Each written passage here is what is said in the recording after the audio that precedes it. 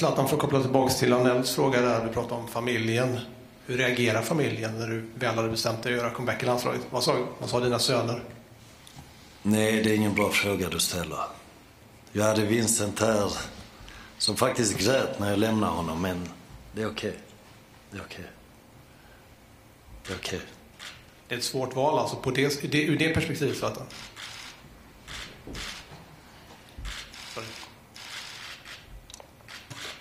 Yeah. Okay.